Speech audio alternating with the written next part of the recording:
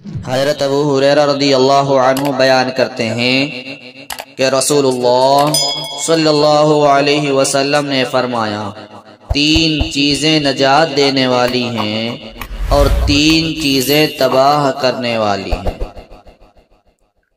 नजात देने वाली तीन चीज़ें ये हैं, अल्लाह से डरना, खलवत और जलवत में। हक बात कहना खुशी में और ना खुशी में। और खर्च में मियाना रवि इख्तियार करना मालदारी और गरीबी में।